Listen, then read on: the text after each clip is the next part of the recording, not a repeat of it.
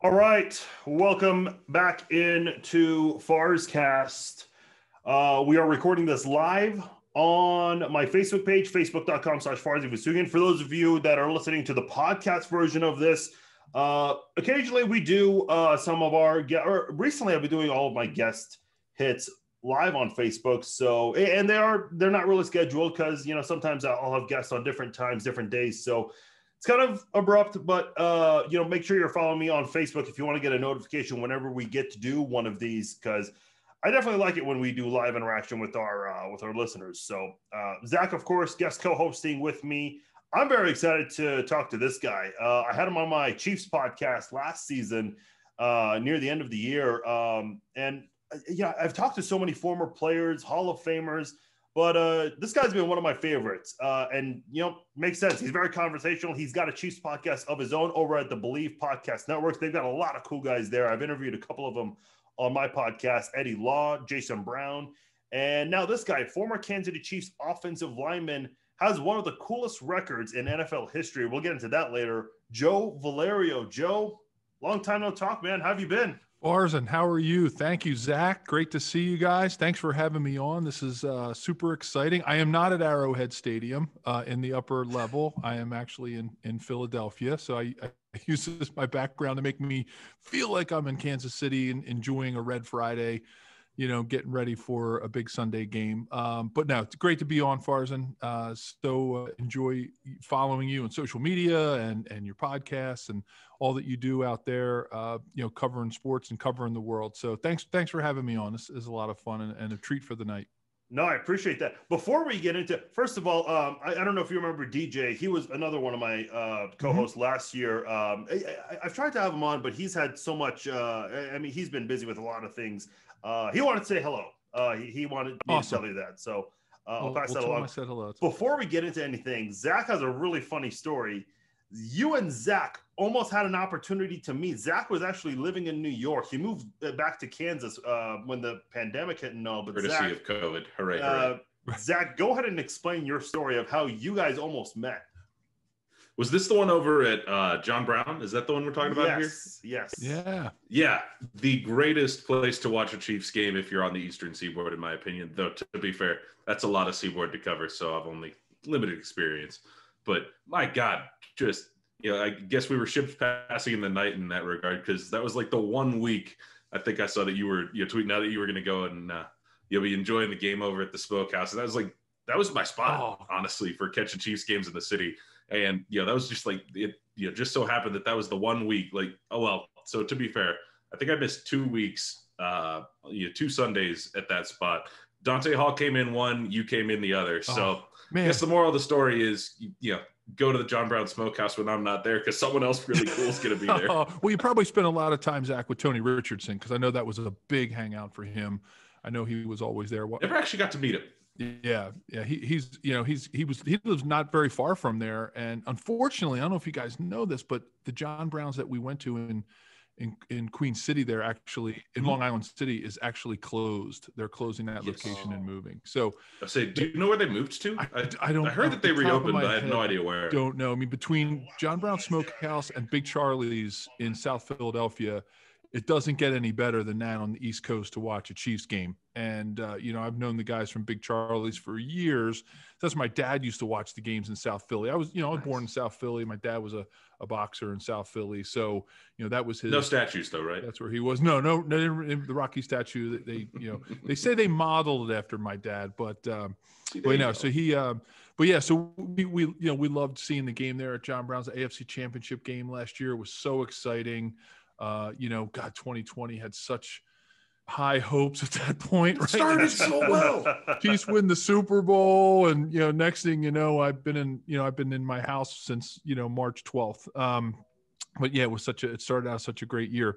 But you know, but hey, look, a lot of lessons we're learning from from all this stuff and dealing with it, and uh, you know, just hoping people stay safe and do the right thing. But sorry, I missed you, Zach. Yeah, that would have been nice to have some burnt ends and and next time, once the world, you know, once we're allowed to resurface again, we'll make it happen. Definitely, definitely. A lot of people were wondering what the heck was I doing up in New York, you know, for the game, living in Philadelphia. But we decided to take the take a trip up there. We took my daughter up to New York, and uh, and and we had a blast. So it was I met one of her friends that she went to college with. So it, it was great, neat, neat place to watch a game.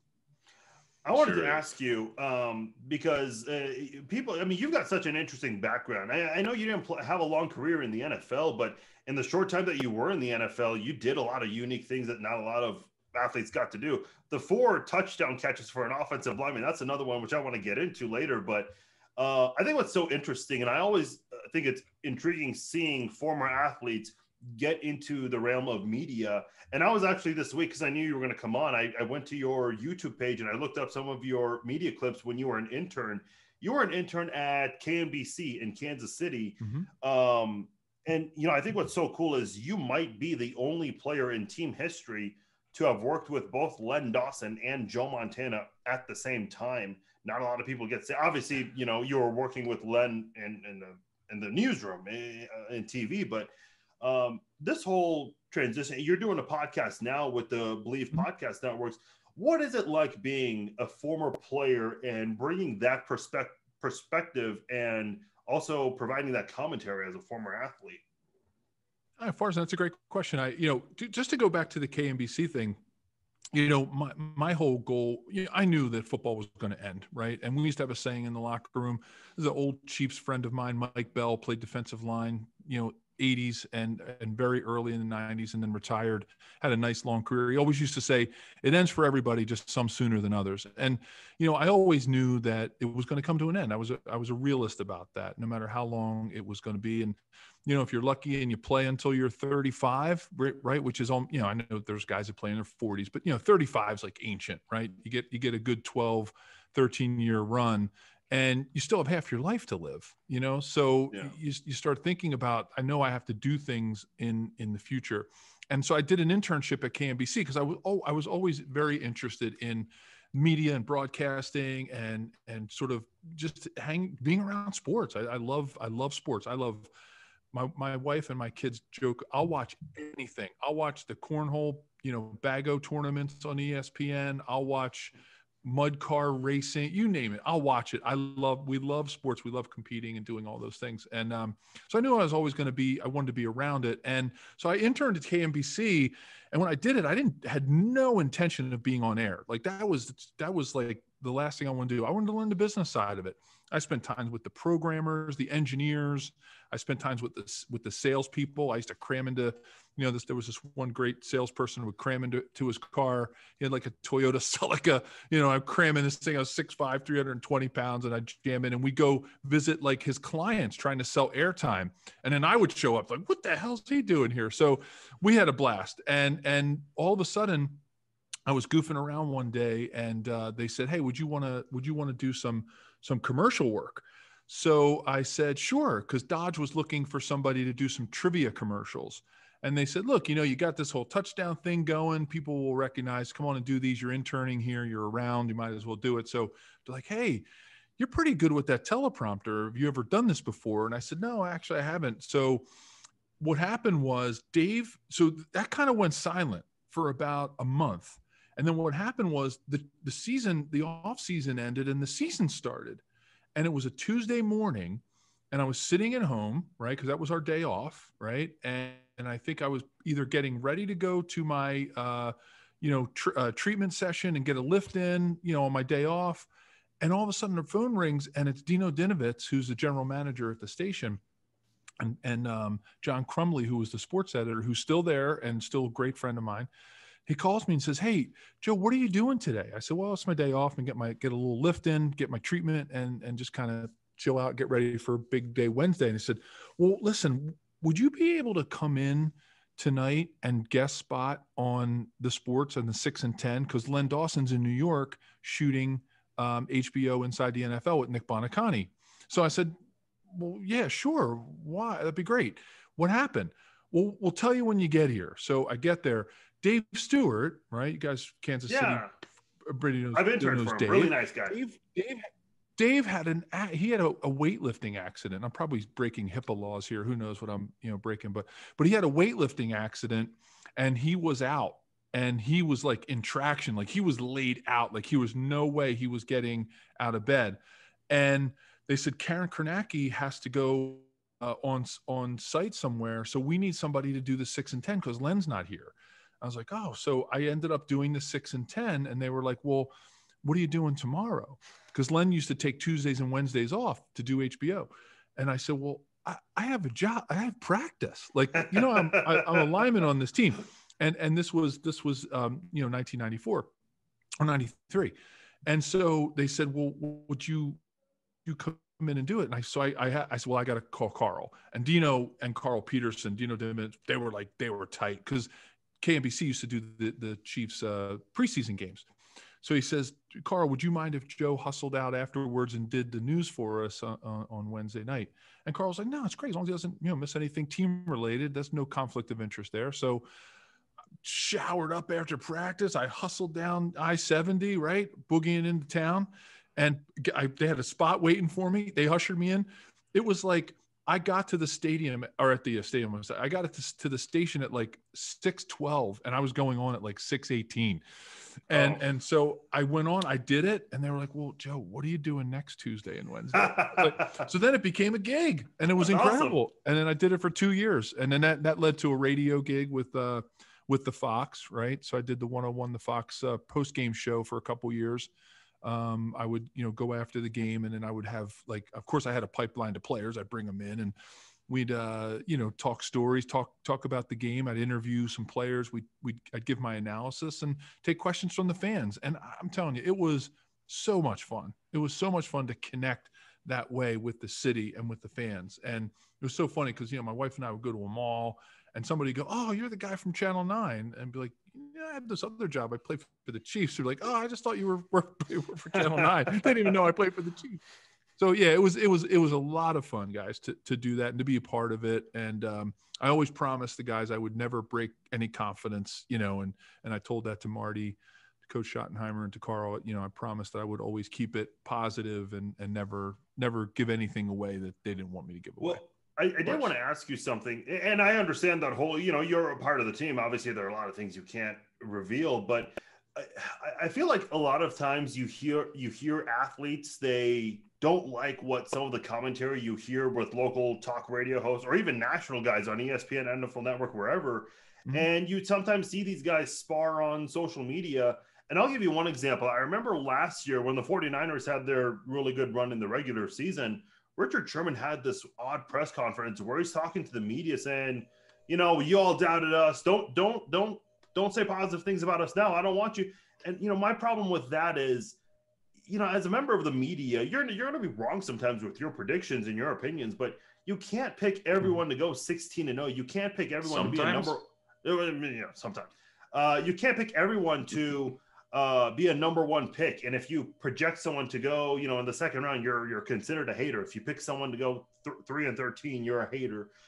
Where do you draw that line of former athletes that, you know, you understand what the media's got to do, and and you know, you they can't always say positive things, and, and it's not because they're haters. It's based on what they see on the sure. Field it's a it's realism, right? I mean, what to, you know, it's been since 1972 since a team has gone undefeated in the NFL, right? And the Chiefs, is as good as they are this year, they lost two games. Um, a game they you know probably should have won against the Raiders, right? Uh, yeah, mm-hmm. the last totally. game was a little bit of a throwaway. But and Marty, don't Coach Schottenheimer, please. You know, don't I would never say that about a game. But you know, I, I've got it. He's got it burned into me that you know you you prepare to win every game. But I think as a, when I was doing it, luckily Farzan and Zach, I was you know the the editors and and and the producers at KMBC put me always put me in a good position that I kept it positive and light, and I always focused on the positive side did some human interest stories and things like that. So I never really got involved in making predictions about whether we were going to win, right? Because we're, of course, I'm going to say we're going to win. Well, yeah, they can't, they couldn't put me. Yeah, now, you can't say no when you got to go out on the field and do it. Right, right. now today, as a podcaster, you know, as much as I love the Chiefs, you know, I'm an objective football fan. You know, I'm an objective football person um, and and so I always try to go into our podcast with knowing that you know the vast majority of people that listen to Jeff Fedotin and I are Chiefs fans, and and and I think I've recruited some other just like football fans because we don't always talk just about the Chiefs, right? Because there's a there's a lot of insights that I like to give into our podcast and into my and the things that I like to talk about about what it's like to be a player and and to really give the listeners and, and the people that I come in contact with every day at work, even you know in, in my in my job, right in in the, in the insurance industry, is they want to know you know what were some of those what's the inside baseball? You know what are the things that players are preparing for? What are they doing? Because i don't think fans even today with all the social media stuff i don't think fans still get a real good picture of what it's like to be a player and the things that you have to deal with and and so that's what i always tried to do and and i think you draw the line Farzan is just being being honest because I think if I just went in every week to our podcast and said, "Oh, the Chiefs are going to beat the Raiders. The Chiefs are going to beat this team." I mean, I've predicted the Chiefs losing in games. I didn't I honestly didn't think when Drew Brees made the surprise start um, I didn't think the Chiefs were going to win that game against the Saints. I thought the Saints, to use a, to quote a Marty Schottenheimerism, you know, the, the Saints had way more to lose by losing that game than the Chiefs had to win. And that's how Marty always used to judge things. You know, he he judged emotions by whoever has more to lose tends to win. And and and it's not a hundred percent rule, but it's definitely an 80-20 type rule where you know the emotion of you know that fear of losing and there, i know there's a lot of even psychological laws about that you know the yeah. fear of the fear of of losing that of, of, of being in an adverse situation is actually stronger than the desire to win and I didn't think they'd win that game. And I was able, I was, you know, I don't think I lost a lot of Chiefs fans, you know, for that, for saying, because I have to be objective. I think you have to be objective, even as an ex player. So I've always found that when I watch, you know, ESPN or I watch any of the sports, you know, folks that are on, I really gravitate towards the ones that are really objective and and lay out a lot of facts and data and don't let too much emotion get into it um, because if you if you let that get into it I don't know, it kind of takes away from the fun of it, I think. I think you're absolutely on point with that. Though I guess I'm curious, you know, with that in mind, you know, just get you know, the amount of kind of call it inside baseball that you guys are able to deliver there. I'm curious your opinion, you know, obviously as a former lineman, that's been the one spot I feel like this year that we've struggled the most. And I mean, I'm sure other Chiefs fans will argue with me on that, but I mean, how can you just walk me through how hard is it you know, for you know guys like Mike Remmers, for example, where you know he's just kind of that swing tackle. You got to know what to do from both sides.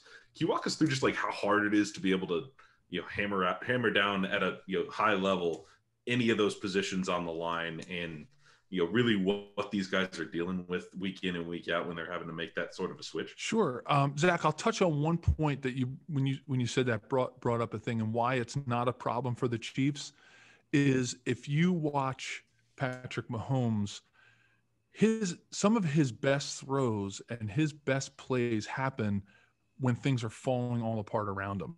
Yeah. And I think that is a huge advantage for the Chiefs line and why they have dealt with moving guys around so well and and some of the injuries and the shuffling and and some of the chemistry that you know they've they've they've didn't have like they had last year. I think a lot of it hinges on Patrick Mahomes. And, and I'll tell you, he has an unbelievable knack for finding the open space in, in the pass protection.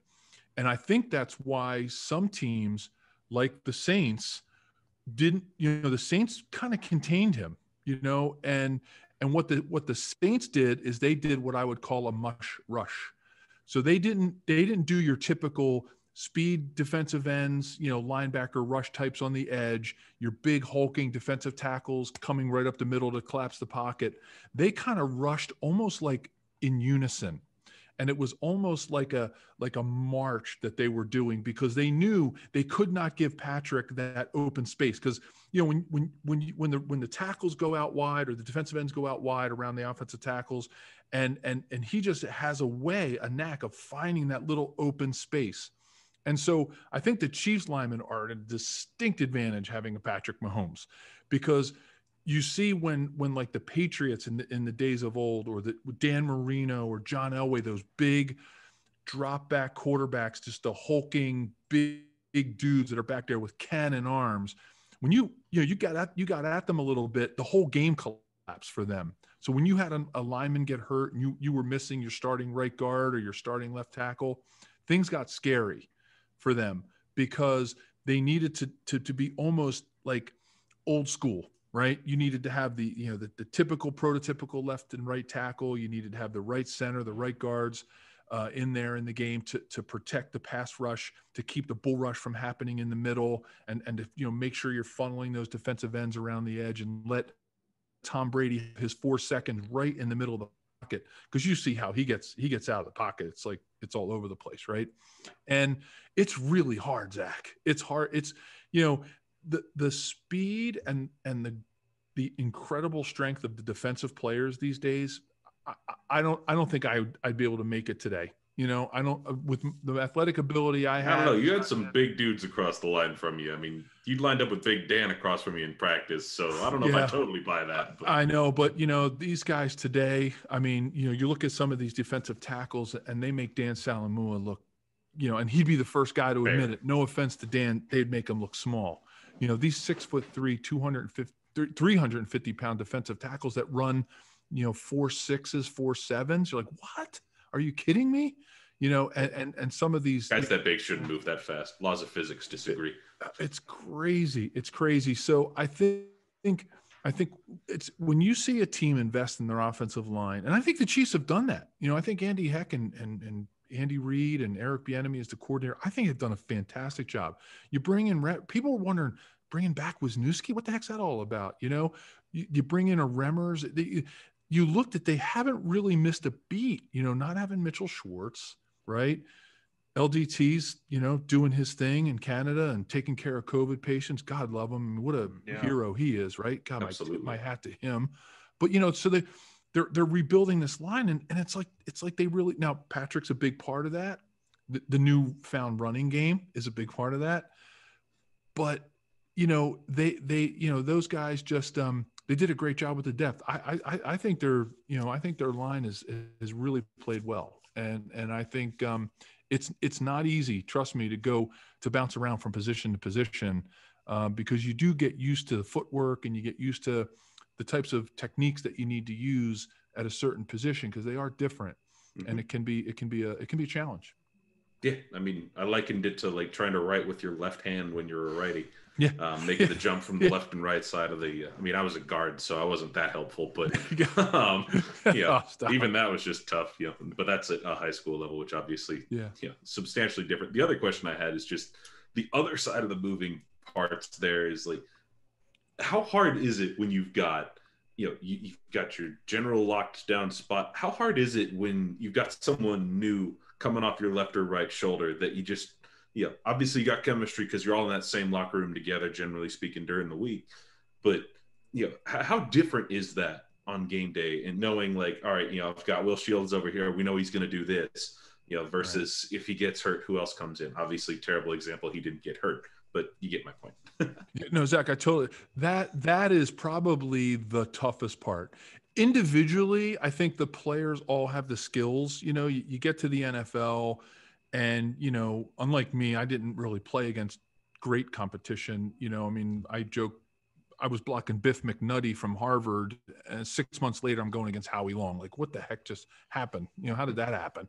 Um, but like, so individually it's guys can make the they can make the switch i think the different positions.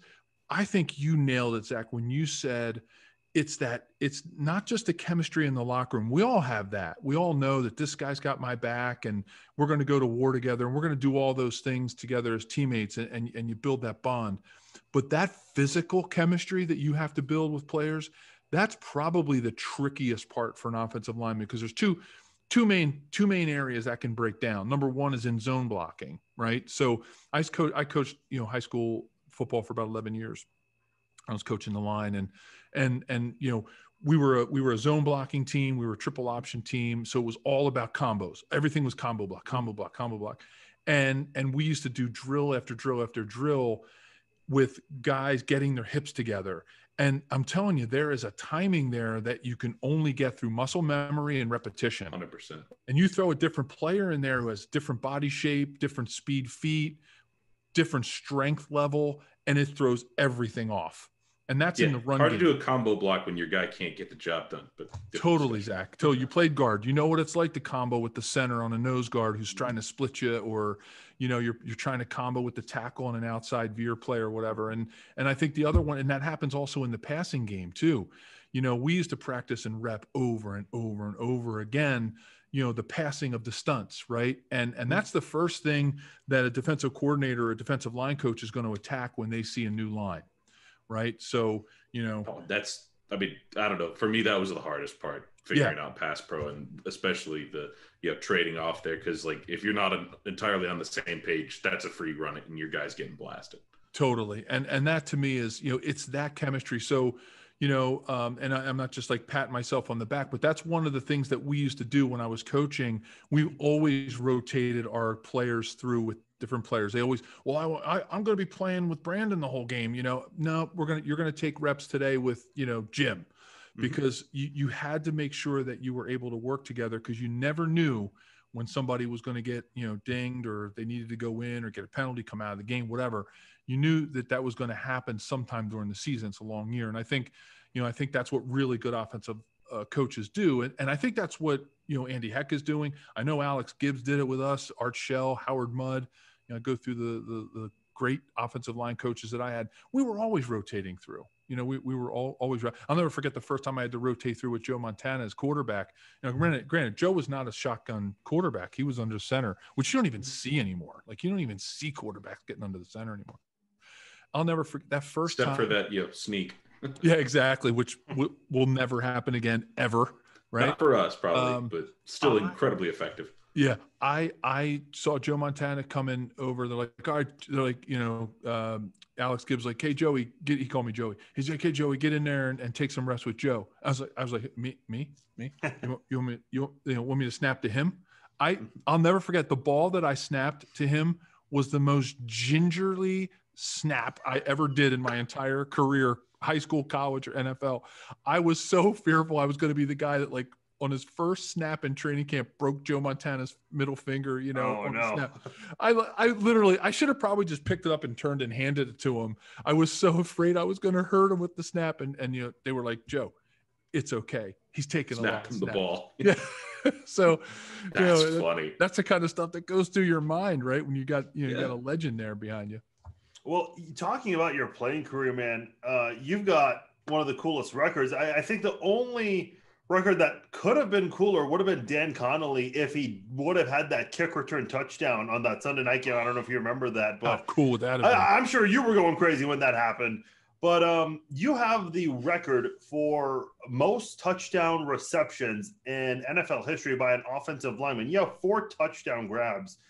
Um, we talked about this a little bit last year, but for those that maybe have not listened to you talk about this before, when when did you when did this whole idea first happen about you know you you're gonna you know line up as a tight end, you're gonna be an eligible receiver, and we're gonna throw the ball to you in the end zone, like yeah, as an offensive lineman, you're just thinking, yeah, I'm, I'm going to pancake some guys. That's going to be my Right. career highlight.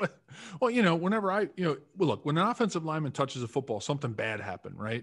Uh, you know, you saw the, the catch. How about that catch Stefan Wisniewski had? Was that fantastic? It was amazing. Yeah. I was so mad they didn't right? let Make me him a t- get him ineligible, 80s but that was incredible. Travis who? Um, but but like when when when uh you know I was in in 90 my rookie year and my second year, right? You have to remember we were we were smash mouth, right? I mean Christian Okoye, Barry Word, right? Bill Jones, our fullback, like it was dive right, dive left, play action pass. You know, we threw the ball maybe 20 times a game.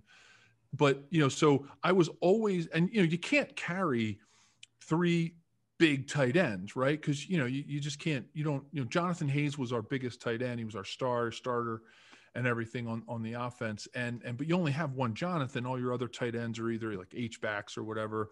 So I was always because I was a backup lineman. I was always like the the we called it the tank formation. I was always the extra lineman that would come in and be you know in short yardage and goal line just just to block right because we didn't have big tight ends to to cram you know you're cramming the ball up to get you know a yard or two. So 91, 92, so I'm tank tight end. And then 93, you know, we go West Coast offense and just we, the playbook just we, we blew it up, threw it away. Paul Hackett puts in, you know, this all this crazy plays. And so we're out of practice one day and we had this one play where I was still the tank tight end. I would come in and I would go like five yards into the end zone and I would just plant myself there. Right. I barely, I used to wear pads that were so big I couldn't put my hands over my head. So I put, I put my hands up and, and I was basically a screen. Right. So, you know, Keith Cash, Willie Davis, you know, JJ Birden, and they're, cro- doing crossing routes. And I'm just, I'm there to take up space. So one day we're at practice and, and Joe's, you know, calls a play in the huddle. And I'm telling you, like, I was, I wasn't even like the fourth check down. I was like, they would throw it. He Joe was supposed to throw it away before he would throw it to me, right? Like that's how like that's how far down the chain I was, right? And so Joe, being Joe, right? He gets back there and he's he's pumping the ball, and and and I'm looking at him and he's looking right at me, right? And I'm like, whoa, whoa, whoa, right? Like, and all this is happening in like split seconds, right? I'm like, whoa, whoa, whoa, and he's you know JJ's wide open. Keith Cash is wide open and he's pumping the ball and he's pumping it and he's like getting all this arm strength in. I'm like, whoa, whoa. And he fires the thing at me. I know exactly what he was doing. And he admitted he was trying to hit me in the face. Right. And and it was like, oh, Joe, you know, big glute, you know, and and and and I caught the thing and I snagged it out of the air. And Paul, I was, I was a, I played baseball in, in high school. I actually was going to play baseball in college. I actually football was actually um, I don't afterthought. I love the game, but I, I, was actually my intent all the way up through my senior year in high school was to play baseball in college. And so, but I went from 5'10 to 6'5, which is that's a whole nother podcast, another story. So no more catching at 6'5, you know, 200 plus pounds. So I snagged this ball out Isn't of the that air. basically Salvi? so I snagged this thing and and Paul Hackett he like throws the his playbook up in the air. He runs. He goes, "You can catch." I said, "I don't know. What is this thing?" I like you know threw it away like a hot potato, and and he he says, um, "Joe." You are going to catch a touchdown pass this season. And I said, Wow, coach, this West Coast offense really does open things up. I did see and, that. and, and and and I was like, "Are you kidding me?" And and he said, "You know." So I became the wide receiver, and and so we he had it in the playbook, and then he said, "We're going to wait for the right time to run this." So we started putting it in, we started repping it, and then and then it was that that Raiders game uh, early on in the season. It was you know first and goal on the goal, and he figured you know coach figured let's just surprise him with this. Who's going to think this big glute's going to go out? And you know I nailed my guy. Now of course we had Marcus Allen, right, who was literally the greatest around the end zone. I don't care what anybody says. I know he wasn't the biggest dude but man, he could find the end zone around around the goal line, and and and he made an unbelievable fake. Like he and Joe, it looked like he grabbed the ball, and it was like. I thought he had the ball actually. I was like, oh, I guess I'm not catching this. I think Marcus just dove in with it. And here I am standing out there, and, and you know, everybody, all 11 guys piling on Marcus and Joe lays flutters that little thing out there, and then he threw it. Man, that thing was perfect. Like he, that guy could throw a ball, man. Let me tell you, like it, it had just enough speed on it that it came to me, but not so much that it fluttered and made me think too much. Although I was kind of reading, you know, the NFL logo. It was it was spinning around, going, "Please, dear Lord, don't drop this thing." And uh, and there it was, and and and it was like, all right, he can do it. So we just kept putting it in, putting it in, and repping it at the right time, and man, I'll tell you, Coach Hackett always found, you know, first of all, the Raiders, right? Who you're a chief, who doesn't want to score a game against the Raiders, right? Forget, Yeah. forget it's Joe Montana. That's a whole nother, you know, ball of wax, right? That I caught a touchdown from Joe Montana, but like it was the Raiders, you know, Raider week.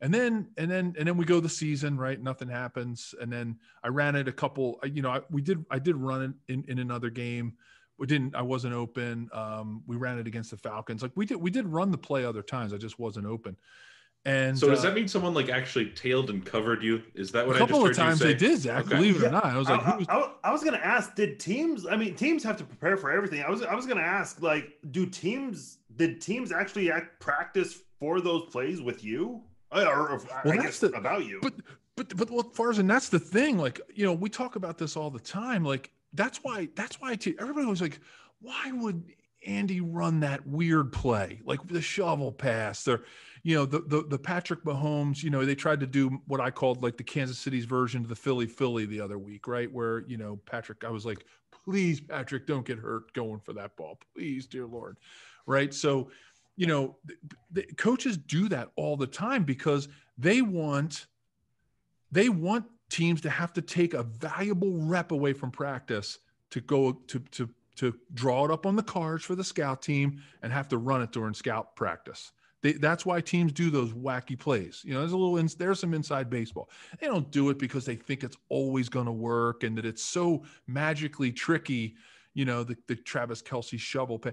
It's so that coordinators, when they break down their film, they say, we're going to have to rep that because we don't want to get embarrassed. You know, we don't want to do it. And then, and in, in the times that I was scoring, teams just forgot like against the 49ers you know rickey jackson just just kind of like forgot about me as marcus was diving over the top and you know that was uh that was the famous eric stonestreet you know picture because he's he's actually in the picture like there's a there's a picture of where i'm i have my arms up in the air after i scored against the the 49ers and there's eric stonestreet yeah he's like right behind me he's like two rows behind and um he's in the picture. So it's just wild that, you know, Cam, right, from Modern Family's in the picture. But um, yeah, it just kind of just took off. And then, you know, then the, um, so we did the 49ers one and then you know and then all of a sudden it's monday night football like come on like you know so it's so i got to score against the raiders i got to score against the against the 49ers which was you know the joe montana steve young september 11th 1994 shootout right his Joe's redemption game against the Niners, and it was like really like I got to score in that game. It's like what what you know my my daughters call me Forrest Gump. We're like you just that's just like a Forrest Gump moment, and so so then so then you know we get we get to that Monday night game. It's the Elway Montana shootout, right? And and I'm doing the Nestea plunge. It's like what is going on? You know, like what's happening to me? this is like happening and it was like it was so magical. Um, and then there was that the, the, double game with the the touchdown against the Cardinals. I caught one from Steve Bono, and then there was the crazy 76 yard run, which when the quarterback from the from the Giants, you know, I know that got relived when the quarterback from the Giants fell on that oh, 80 yeah. yard run. They were playing that Steve Bono run again, where I'm I'm like out there. He was supposed to throw it to me, by the way. That was supposed to be a, a little dump pass, but the entire team but the entire Buddy Ryan defense just collapsed on on Marcus and and Steve, you know, bootlegged out and, and I'm running down the field and I'm running and he's yelling at me, don't run faster than me. And I was like beating him in a foot race. And, you know, he, we still, Steve and I still joke about that, that, you know, I, I probably was, you know, the only lineman that could beat him in a foot race. But, um, he, uh, you know, so there was that, there was that one. And so it just was, you know, far as my dad always said, Joey, you're going to make it to the hall of fame someday. I just didn't know it'd be on somebody else's plaque, but that's okay. So, you know, uh, you know, I'm on Joe Montana's like, all-time receivers plaque at the Hall of Fame. So, you know, my dad had a lot of. That's awesome. That's cool. I didn't know. Uh, you know, I, I don't know. I, I, obviously when when you played, there was no social media. And the reason Thank I bring that goodness. up, Thank you goodness. I was just going to ask that. Is that if you thought that was maybe a good thing? Obviously, the answer is yes. But you see a lot of times we talked about this earlier with athletes and you know they they take issue with some of the things that people say in the media but now you've got fans that can you know connect with athletes and i guess it's up to the athletes how they want i've seen tyreek hill use um what's that uh website where you stream video games um twitch yeah, he, okay. he's on Twitch sometimes, and he'll. I, I, don't know exactly what he does. I've never watched it, but I know he does that from time to time. Um, you know, I, have seen even during a year where the Chiefs only lost two games, uh, one with the starters, I guess, but a lot of Chiefs fans are very critical still. And you've seen Tyrann Mathieu. I mean, he does not hold back. He he's on Twitter and he'll he'll go after anyone that he doesn't like the criticism. Uh, Chris Jones, I guess he had a moment with someone in the in the yeah. media this year. Yeah, um, see that. Yeah, oh yeah, from 610. Um, so I, I'm curious, what is it like, you know, seeing athletes – and a lot of times, sometimes fans that try to instigate these arguments and try to get something out of these players. Yeah, well, it's just like I mean, you know, the my version, our version of of social media back then was, you know, fans at the stadium. Like that was all we had. Like that was our social interaction, right? You know, you, would get you know you get booed when you go to play the raiders you get cheered when you come out at arrowhead. So you know that was really our, our interaction and, and then out in the community right of course. But you know personally face to face whether we lost a game or or whether I didn't play well or you know I did something that you know maybe caught somebody's eye, you know, in that personal interaction face to face, people are much less likely to come up to you and say, you know, hey Joe, I saw that you know you jumped off sides on that play. You know, like they they they're just going to say, hey, there's Joe the Chief, and hey, good game. You know, like they're they have that short interaction. So when you, when it's personal and it's physical and it's in person, people are going to be a lot less likely to be critical, right? And but when you can hide behind the wall of, of social media, it's easy to, you know, bust out, you know, you know, one of the players and just say, you know, you know, what's going on with this player?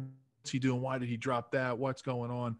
And it's easy to be, it's easy to be a lot easier to be critical. I mean, we heard it a lot on talk radio, right? We, you know, we would hear it, you know, you, you listen to the drive home radio or whatever, and they're doing the Chiefs talk or the sports talk, and you know fans will call in and they'll say, "Ah, guy's a bum." And well, that's that's a Philly term because that's where I live and that's the kind of radio I listen to here. It's but definitely, you know, yeah, common like, thread, isn't it? It's it's it's you know it's it's listen as a player it's really hard. I don't care what anybody says. This it's it's this is what you do for a living you know? I could only imagine like how people in my business now if there was like if someone you know got on a radio show and said, "Oh man, that guy just can't sell insurance, man, what a what a what jerk, a you know, what a bum, he's a bum, get him out of there, hire somebody else." You know, it's just like you have to learn how to to take that as a player, and it's hard. It's hard because you're giving you're giving it your all. You're doing whatever it is to, that it takes to get there and and you're given you know your your body your soul your mind yeah. and, and, you're trying to be a true professional be good in the community and do the right thing and, and there's always going to be haters and that, you know it's one of the things you know my, my daughter has taught me a lot about social media she's the communications director you know for the governor in delaware and you know my god you know the governor puts out a you know a really awesome new program and it's like always right down the line. Half the people are like that's stupid or and then half the people are that's great. It's like and she just she's taught me a lot about you know living with the the, the, you know the criticisms and things like that through social media and yeah. I, I just it would have been hard for, for somebody like me because i take things really personally. But then there's the positive side Farzan just by coming on your podcast i was able to connect with two two fans. You know one fan had said you know he, he had he had put in the comment section i had a chance to get a,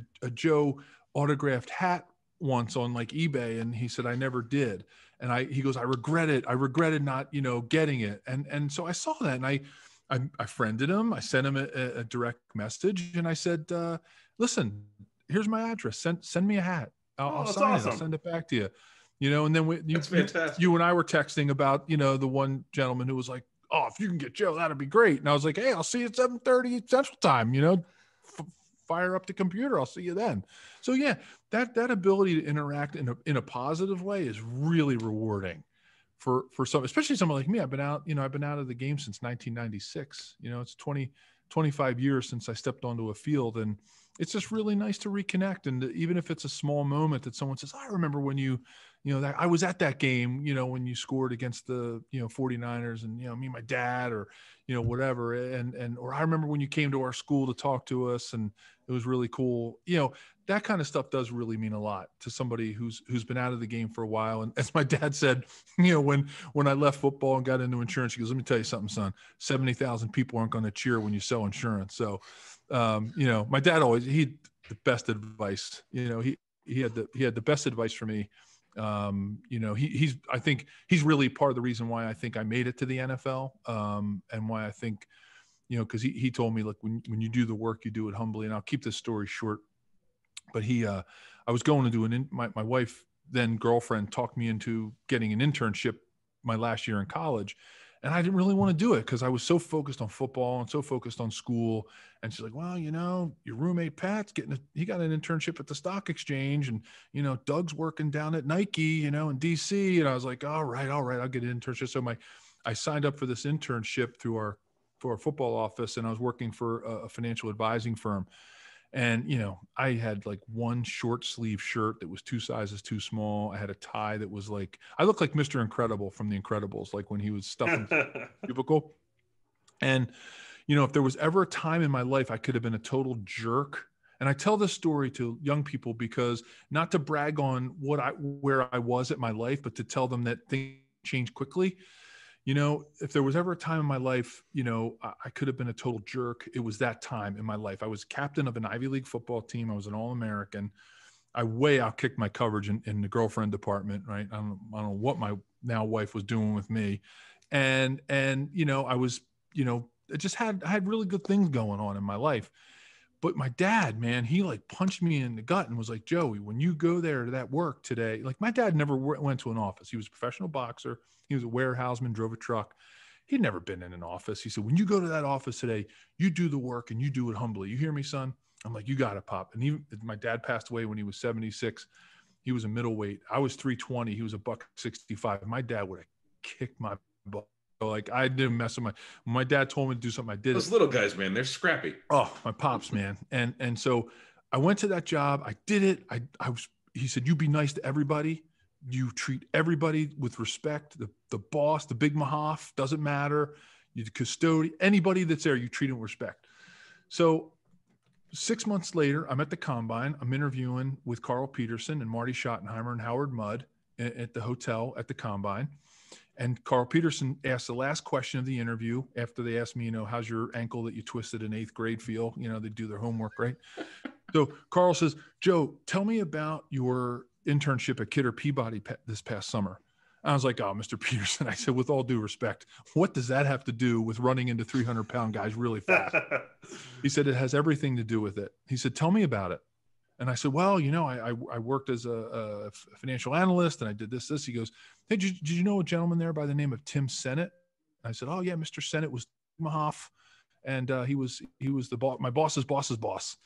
And he goes, uh, yeah, he goes, you know, he's, you know, one of my best friends and we're godparents, each other's kids and college roommates and all that stuff. He goes, everything he told me about the way you handled yourself in that internship is why we're going to draft you next month in the draft.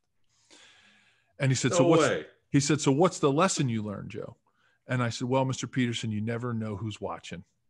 And he said, That's exactly right. Because Lamar Hunt wants people in this locker room who know what to do when no one's watching. Because anybody who comes to the combine can run and jump and throw and block and tackle and catch.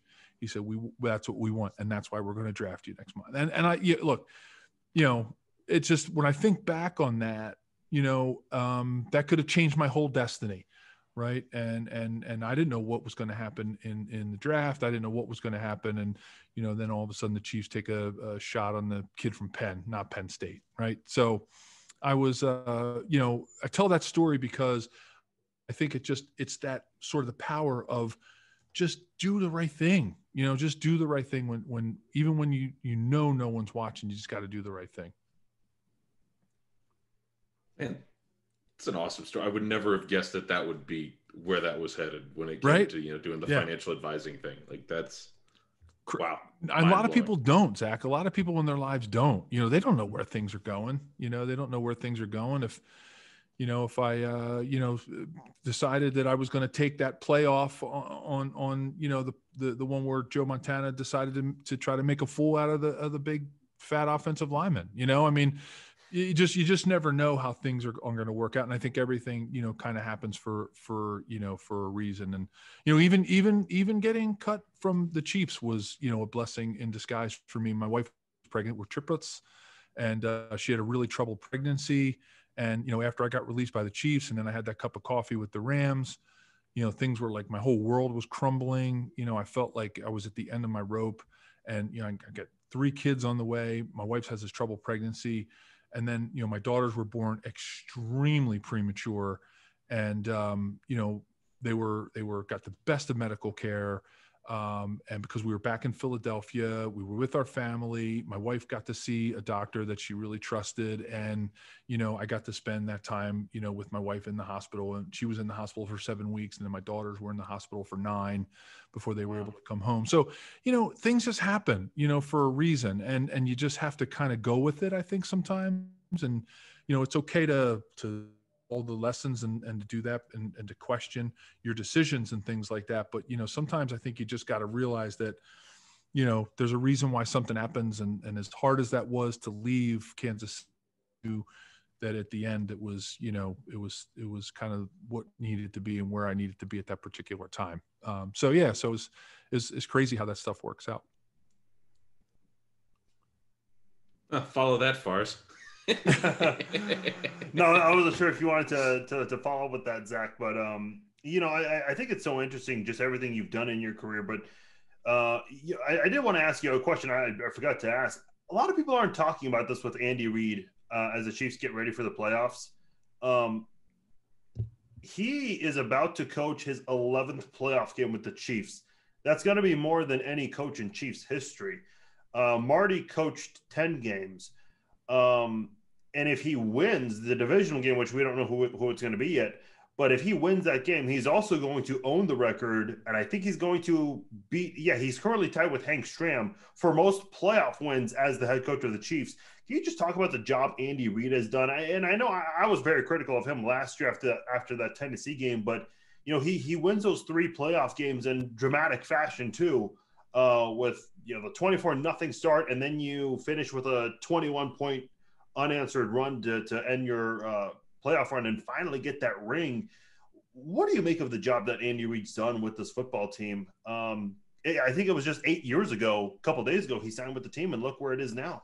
Yeah, as far as it's, uh, look, it's not easy, man, to coach in the NFL. Just look, just people, people have such short memories about what it really takes. I mean, what's it been since 2003? since there's been a, a back-to-back Super Bowl winner. Is that am I right with that Patriots? I think so. I think you're correct. Yeah, 304. I mean, that's it's hard. It's hard yeah. to create the chemistry year in and year out, especially dealing with things like free agency and the turnover and and the, you know the lack of chemistry that you see these even the dynasties have had right? And how hard it was to even keep that Patriots team together year in and year out and, and some of the you know the job that like Belichick and Brady did.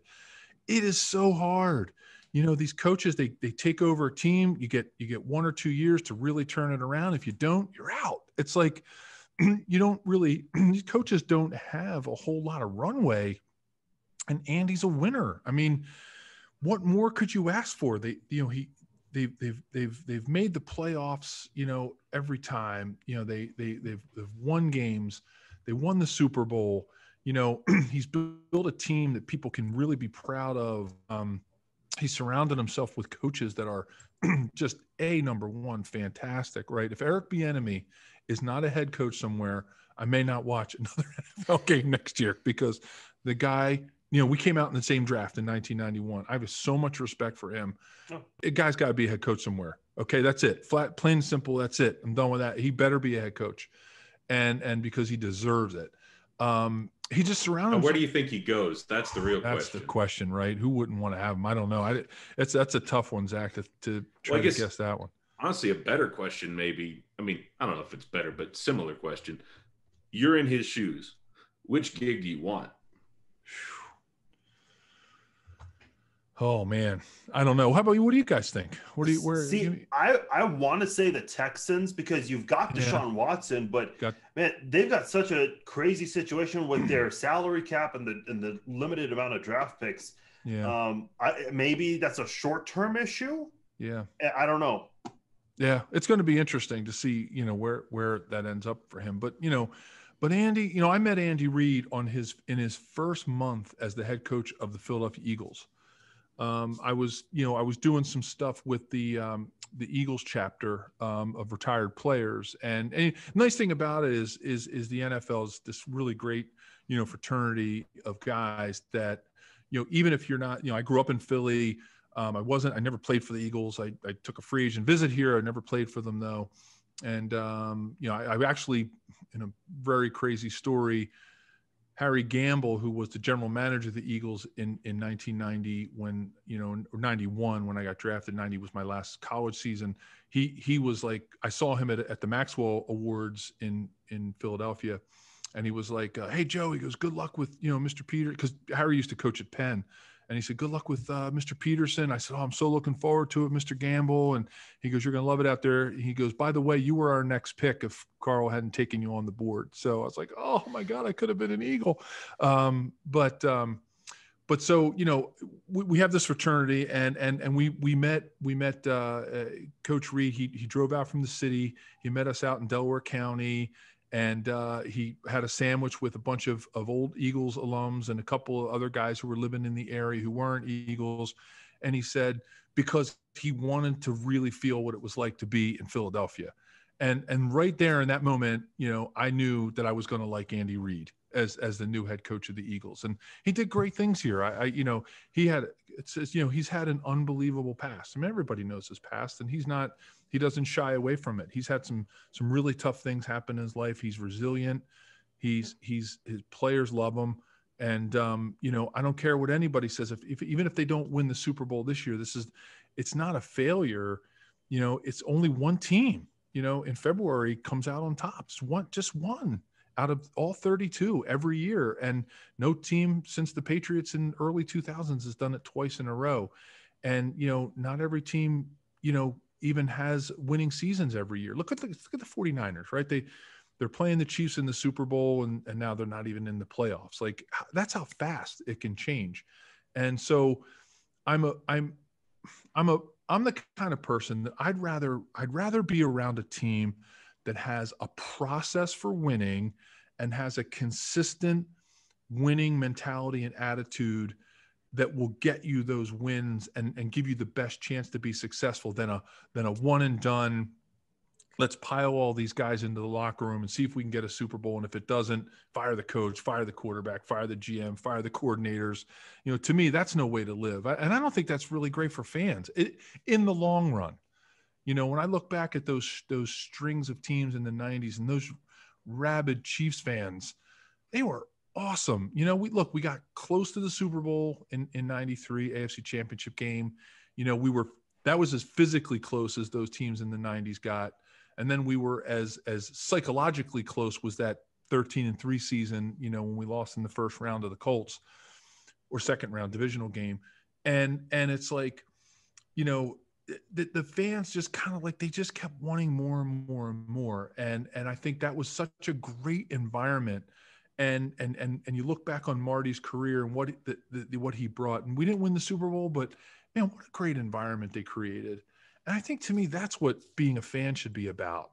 You know, I I, I struggle with that a little bit in Philadelphia because you you guys can't imagine what it's like here right now with the you know we go from ask Philly Philly, you know Nick Foles, you know Saint Nick.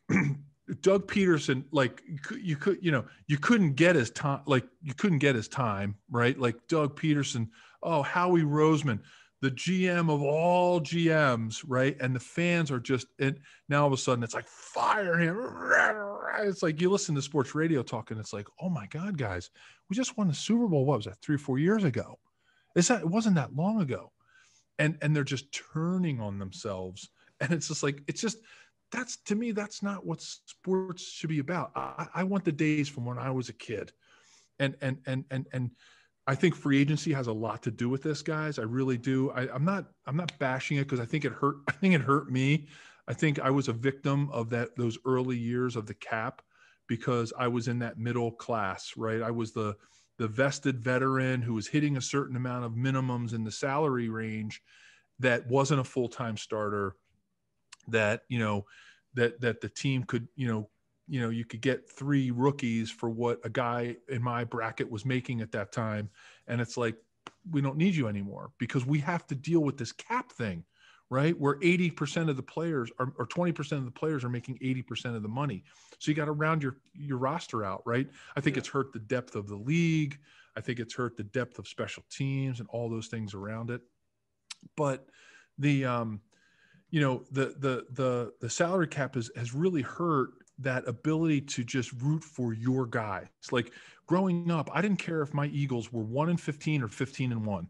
They were my guys year in and year out. Of course, you had turnover and retirement, and guys would get hurt and end their careers and things. But for the most part, you know, my formative years of watching the Eagles from the time I was, you know, six years old in 1975, all the way through, you know, when free agency kind of started, right in yeah. the early in the in the early '90s, they were like the same guys year in and year out. You know, my nephew, who's you know in his his late 20s, early 30s, he's had like 15 Eagles jerseys. I had one. If you guys remember this name, his name was Bill Bergey. His number was 66. He was the star middle linebacker uh, for the Eagles during those era. I mean, of course, you had guys like Ron Jaworski and Harold Carmichael, big wide receiver. Like they had some big names, but Bill Bergey was the tough, rough and tumble middle linebacker. He had the full beard. You know, he was a guy that like everybody loves Bill Bergey. I had one 66. I had Bill Bergey jersey my whole life. I wore it until it was like three sizes too small because he was my guy and they were all my guys, you know. And and now today it's like rare, man. Just, it's hard for you know, aside from that small hand. I mean, obviously, like you know, around here we'll have. I, I don't think we'll see a number 15 in another color for a while. Yeah. knock on yeah, wood no, yeah, for a whole bit, but yeah, it, it is totally different. Like just like you know those I mean, I grew up on you know the 03 sort of eras, you know, like the Tony Gonzalez's, you yeah. know, the Will Shields, the uh, you know Trent Green, you know, all those guys. But it, it's it is interesting to think of just like how different it would have been if those guys could have just like been there their whole careers together. Like that's yeah. just yeah, it just you don't think just, about it, but it's hey, it's we need that. Like sports needs that. Like the, to me, I know I know it's you know what is it? My daughters always say, "Okay, boomer," right? My my daughters always say, you know, because I, I always, you know, I we used to walk to school uphill both ways, you know, in the snow. You know, we mm-hmm. get we get we get nostalgic about some things, you know. Oh, when I, you know, we didn't have a stove, we had to die rotary phone, you know. Mm-hmm. So of course you can get nostalgic about things, but I really do truly. I do truly miss that. I, I, I miss that aspect of of sports where year in and year out you had you know and, and I'm not, i don't mean to use the the genderist pronoun of guys or you know them he or whatever but like just like those were your guys. Like for, for years they were you know just yeah you get ready for the game and when they lost you were sad for them you were sad for yourself. I just feel like today you know as much as i love sports i love everything about sports and everything it teaches us um, i just i miss those days of that sort of community feel about professional sports. It's it's sad that young people today don't get to experience that. Yeah, I mean, now shifting away from sports a little bit. I mean, I know we've all been kind of living in this ridiculous, weird Groundhog Day sort of lifestyle. I'm curious, what is the man who has you know as many receptions as he does touchdowns? Do oh. you know just to entertain himself outside of obviously watching the NFL? What has been your quarantine? You know, the new add to your world as far as quarantining is concerned. Yeah. Well, I you know I was Cris Carter before Cris Carter was Cris Carter. That's right, Zach. Uh, I only catch touchdowns. Um, I always joke about that, you know, and and the fact hey, that four I, for four, man. The, the tape only, speaks for, for itself. I only had 193 to go to catch Jerry Rice. Um, if I played for another 60 years, I might have caught him. Um, but you know, the yardage we won't talk about. Well, I did have, I did have, yeah, I did have 15. I did have 15 return yards. I had two kickoff returns for 15 oh. yards. Uh, one was for one yard, the other one was for 14. Uh, I'll just never forget looking over at Marty when the ball they squibbed it to me. I was the we called it the tight end position. It was one of the back, you know, positions off the front line, and I'll never forget. I literally looked over at Marty I didn't know what to do. Like we, we never practiced it. We never like the, the ball came to me so fast. It got like squib kicked and I caught it off of like one bounce. And I'm look, I literally looked over at Coach Schottenheimer and he went, run. so, you know, um, you know, but what does a guy like me do? You know, look, I have, um, you know, in quarantine itself, you know, it's boy, what, what it's done, I think, Zach, is it's, it's, it's forced a lot of people to work a lot longer.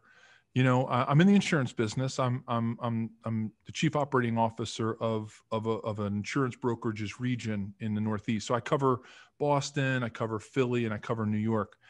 And um, you know, I was traveling quite a bit before COVID. So number one thing it's done is it's it's really cut down on my travel. Well, not really. It's zero. My yeah, zero now. I've killed I've, it. I'm sure. Yeah. Working from home. Um, I am um, so so so so I, am working a lot more because I don't have that. Some days it was a six hour commute. I would commute three hours to New York, and then I would commute three hours home, and I would do that uh, three days take a week. train I, or what? I just I take the train, you know, take the Amtrak, and because uh, I, I, just Makes don't sense. like I didn't like not being at home.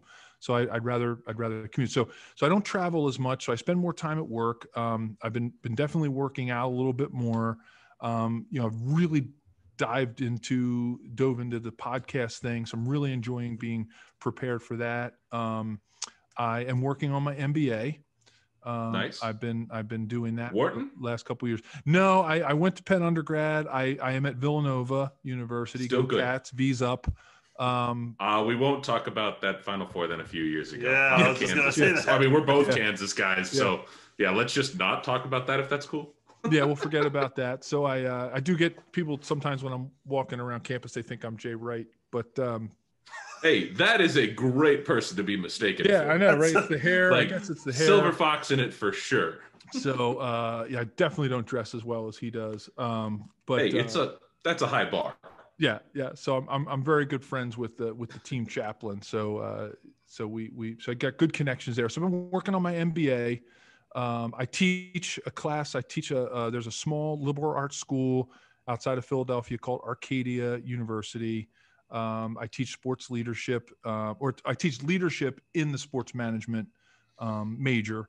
Um, any any any student can take the class, but I generally get most because it's a required class for the sports management major. So I I teach leadership there as an adjunct professor. Um, you know, I travel has stopped with with my daughters and their college uh, stuff. They've all graduated.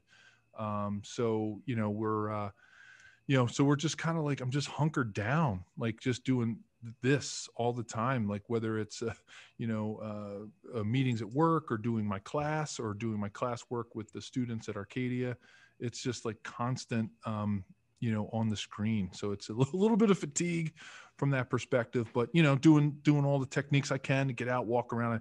I, I love listening to podcasts. I, I, I like reading and uh, you know doing doing doing things with uh, you know ex- ex- expand the brain a little bit. So but that's it. That's you know just trying to trying to stay busy and you know got in like i said got in the insurance business you know right after i was done playing when i realized i had three kids that i had to get through college um, and uh, my wife was like okay football thing's over. You go when time to go to work. Look at the time. So uh, but been doing that for for the last uh, you know 24 years. So it's been been been really exciting to be in, in the industry. We were uh, talking a little bit before we started recording and going live on our Facebook page. Um, I was complaining that I don't have a lot of room on my on my one terabyte laptop. You you said you had some interesting story, I guess, involving Marcus Allen with with something like this. Oh God, yeah. As far as in, um, I'm big a big computer nut. I love computers. It's uh, for a long time it was like a hobby kind of. I tried to learn a lot about computers and um, and and how they worked and everything. And it, it was all sparked by Marcus Allen. And and you know he was a techie like you wouldn't believe. So what happened was in 1992, my wife and I got married. My college roommate's dad uh, was was was big muckety muck at IBM.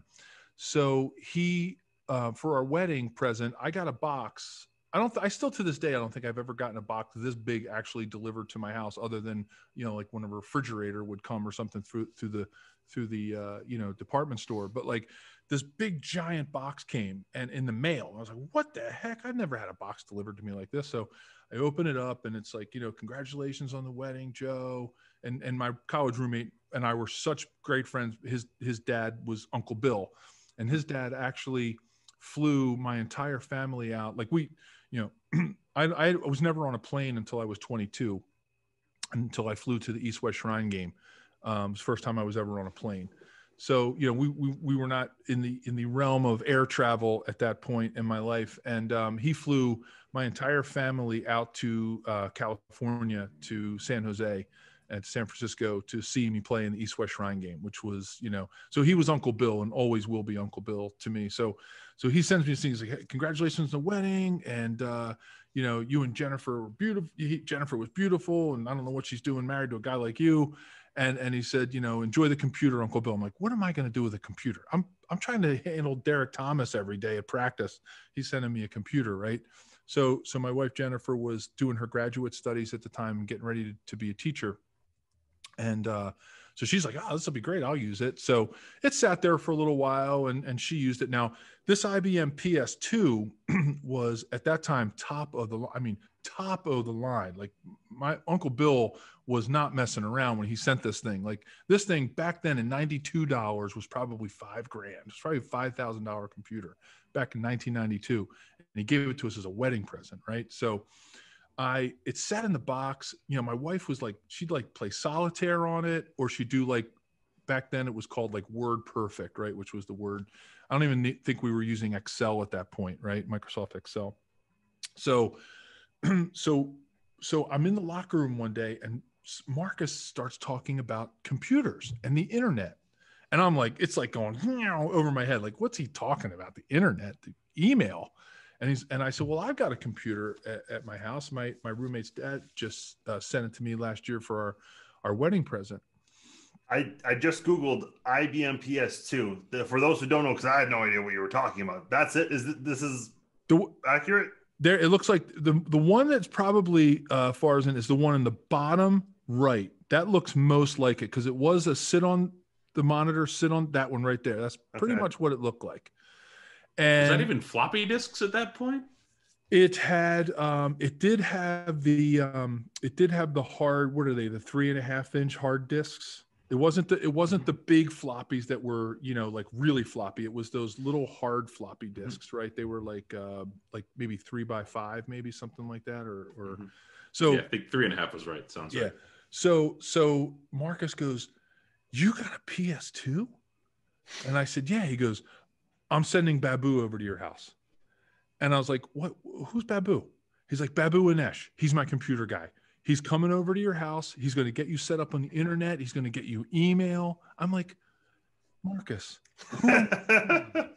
He's like, well, email. You can send electronic mail. I'm like, who am I emailing, Marcus? Like, and we laughed about that. Like, we got the biggest. But Babu came over. Nice. Uh, he was so and so smart, so intelligent. Gets me all set up. I'm on the internet, and it was like from then on, I was hooked. I was like hooked on this computer thing, and and then I started like learning about it. And then when that kind of got a little bit older, I I took it all apart. I, I took out the motherboard. I learned about it. I put in some new memory. But anyway, far as where you were going with this, we were talking earlier. We were talking about how you were afraid we weren't going to be able to record this because you didn't have enough memory. And you were saying you're in like the gigabyte range, right? 20, 30 gigabytes. yeah, 20. Yeah. Right. This hard drive, that whole hard drive of that computer that you showed, the whole hard drive was 250 megabytes. So you couldn't even run program like it couldn't store the programs. All the programs had to be run off a disk. So you had to have a disk for your word processing for a game that you wanted to play or like you know some some software that you wanted to use. You had to insert the disk. It didn't even have enough memory to run off of its own hard drive, um, which was crazy. So you think about it today, right? They make tiny little things. You can go to Best Buy and get, you know, you can get 20 gigabytes on a little flashy drive thing, right? Yeah. You know, it's crazy. It's, it's insane. That's pretty funny. Uh, you know, when a lot of a lot of players today, you know, they've got the social. You mentioned PS2. The only PS2 I know is a PlayStation 2. Right, exactly. And that's Uh, why that's, yeah. So I wonder if there'd be a little confusion there. Well, I, the thing is, uh, you know, a lot of these athletes, you know, they'll they'll go on social media during their downtime, online gaming. You know, you obviously got streaming services, Netflix, whatever, Disney Plus. When you when you were a player, I- I know you talked about you know your time with, with KMBC and other internship opportunities, but for downtime to just chill and have fun, uh, you know, as athletes, what did you guys do? Well, video games were fun. We still, you know, we had, I had a, um, I was big into uh, the Sega Genesis at that time. Believe it or not, that was That was the game. first one I ever had. It wasn't really, Zach? Yeah. That was that was uh that was game, you know, that was game system of choice back then. I grew up on on game systems. We we always my brother always found a way for us to have video games. We you know, we started with Pong and then we went to Atari and then we went to Intellivision and then we went to ColecoVision. Uh, which didn't last very long, but we See, were always in, as, a, as a family, as brothers, we were always battling uh, over video games. Um, but so yeah, so we we you know we, we did in downtime. I would do some video games.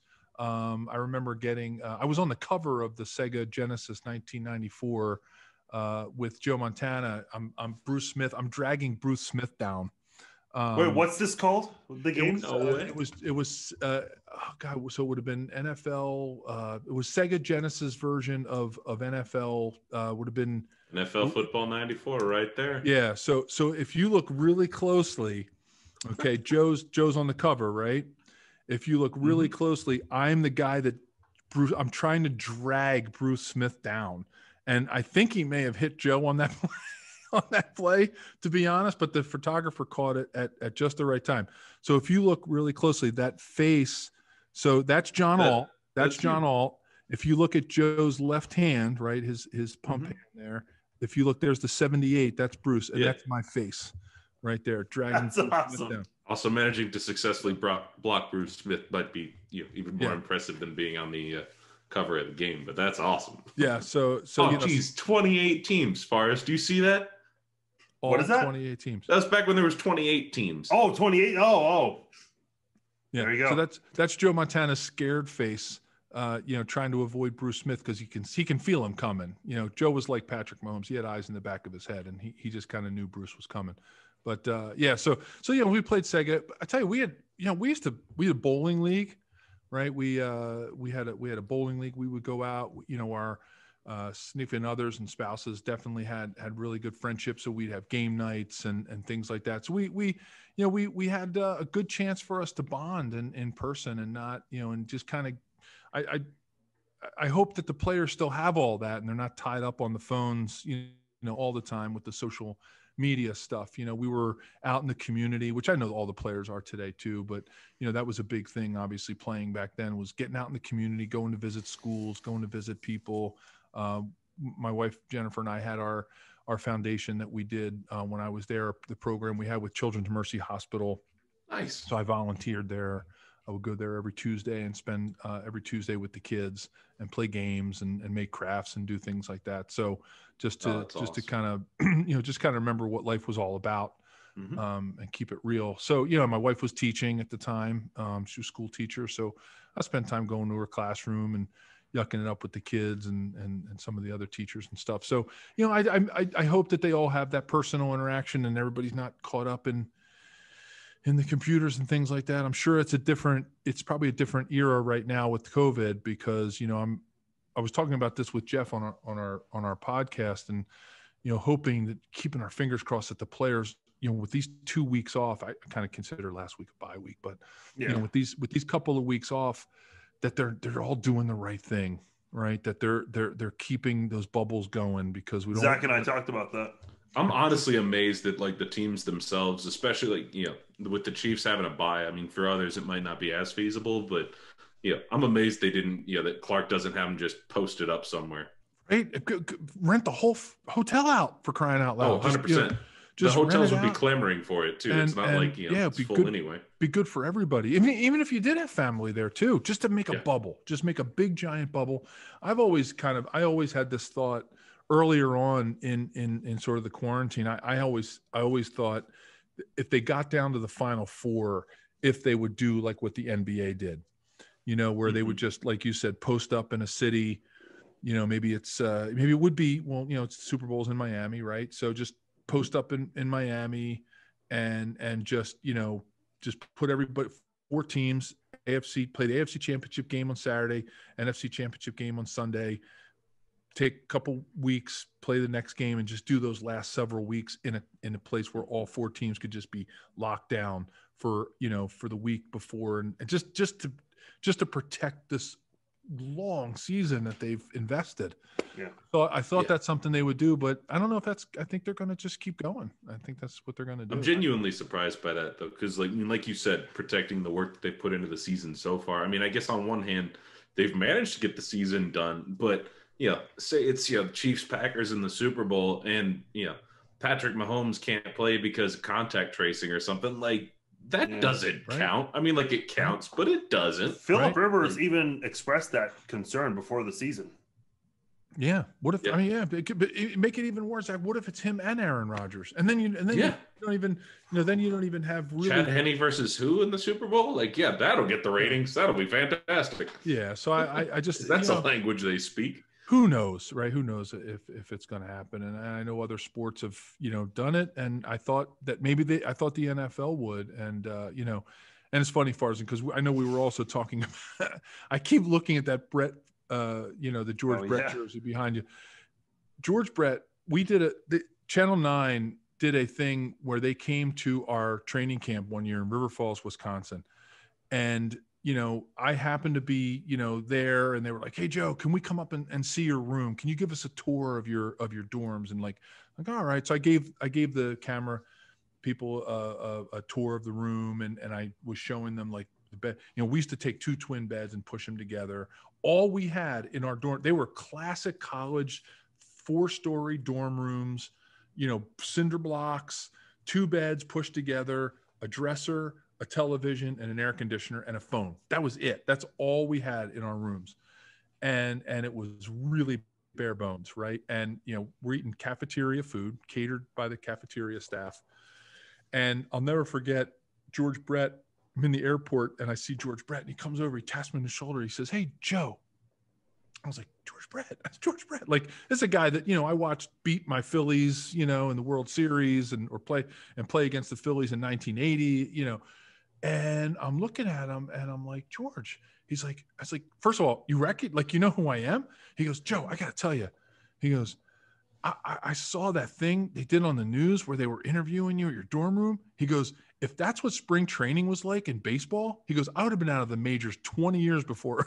I, you know, because I never would have lasted that long. I was like, geez, George, it's not that bad. I mean, we get, you know, three hots in a cot. So I, I can only imagine the type of, uh, you know, place you're staying at spring training. But you know, so every every time I think about George, I think about that. He's like, Joe, I could have never, I could have never made it in the NFL. That's funny. oh, good stuff, man. Well, hey, I never look. understood why they did training up in River Falls. That's always been a mystery to me. Yeah, it was the cheese league. It was the cheese league. You know, I mean, it was it was out there. You know, I mean, it was funny because we we'd get up there and and you know there'd be like we're not well first year i went was my rookie year so i didn't know any different right? I mean i used to go see the eagles practice here in philadelphia when they were at widener university which is right around the corner from my house. Mm-hmm. and then they would go to lehigh university. So like i had i had you know grown up seeing it. And and and because they were in the philadelphia area they had pretty decent number of fans. I mean i remember going in 1991 up there and you know they had a parade and you know because the town was really excited.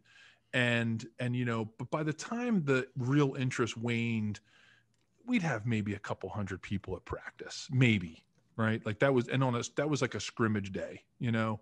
Um, I'll never forget in 1993, we were coming out of the of the area where we dressed and had our meetings, and you could it was a blind turn to see the stadium, and it was a typical Division three stadium, probably sat 5,000 fans, you know, wood bleachers or whatever, and nice press box, and uh, we're coming around the turn and Alex Gibbs, who was our line coach, was was leading us out to practice. And, you know, he was all of, you know, five foot nine, right? We're all these six foot five guys following him. And he started, whoa, whoa, boy. And he had this awesome, like Southern North Carolina accent. He's like, whoa, whoa, boys, boys. He goes, uh, listen to that, listen to that crowd. And like you could hear like like you could hear this the din of like a crowd and, and, and we're like, are they pumping like noise into like the speakers? Like, what's going on? We turn the corner and there's 5,000 people packed in. All we're in is helmets, t shirts, and shorts for a stretch and like a quick run through on our first day because you had to have that acclimation period. And he goes, I'm going to tell you something, boys. They ain't here to see you. so we're all looking at each other like, yeah, we know why they're here. And he goes, I'm going to tell you something. Your jobs, Marcus, Joe, they got a whole lot more important this year. All right, let's go have a good practice. You know, we're like, oh God, and like we're all like biting our nails at that point, knowing that things had really changed. And that's when I re- like it wasn't Kansas City, it wasn't all the hype that that Joe got during minicamp. It was that moment in time when I knew that the Kansas City organization had taken a turn, and and that was like the tipping wow. moment for me when when I saw 5,000 people in River Falls, Wisconsin to see Joe Montana, I knew things were going to get really interesting over the next couple of years. And they did, and they really did. And I think, you know, as much as Marty was building that team 89, 90, 91, you know, 92, you know, because Chris, the Christian Okoye era had ended, we all wondered what was going to be the next thing. And let me tell you, that's what Marty and Carl did that was the next thing and that's what mr hunt did and i think that was really to me ended that big drought of those years from the len dawson era of the super bowl you know we know how bad things were from a franchise perspective wins and losses to me that was like the tipping point moment right there where it just went and the Chiefs were on the map. 5,000 people, River Falls, Wisconsin. Now, I'll never forget that moment. That's awesome. That's pretty cool. Hey, Joe, uh, I know we could talk to you for hours and hours. Uh, I know we've got a little over over a little longer than we usually do. So I definitely appreciate you being generous oh, with your my, time. My pleasure. I'm sorry if I got chatty and, and just no, chatting, but I just love chatting with you guys and, and, sharing those stories. And you know, it's just it's fun stuff. It's fun to relive. They're great memories. You know, um, you know, thanks for having me on and, and getting to share some stuff with you guys. And you know, excited for the you know for the Chiefs fans that do listen. I know you're switching your gears and everything, but I know you probably have a really nice following of of Chiefs fans. I'm oh, excited yeah. for them this year.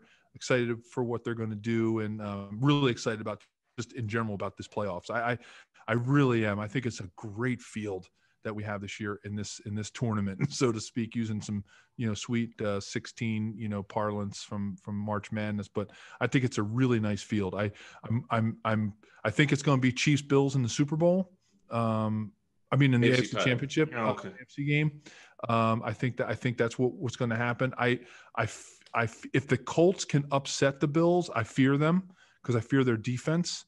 Um, I also think the Ravens are really on on the rise right now. So I think we're obviously going to play the winner of that game. If you know, I think the Steelers and the Bills are both going to win. I, I, I do, and I think you know. So the winner of that. Uh, you know that uh, that game, that Titans um, Ravens game. I, I, I think it's going to be the Ravens, and I, I you know they ran for, they ran for 400 yards in, in, in a recent game, so that's going to be that's going to be something else um, to see. So I, am just really excited about this field in the AFC.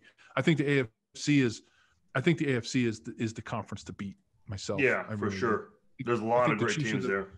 I think the Chiefs are the best team in the NFL, and I think the AFC is the best conference. So we've got a lot of lot, got a lot going on right now. Well, if you want to hear more of Joe's commentary, check out his podcast over at the Believe Podcast Network.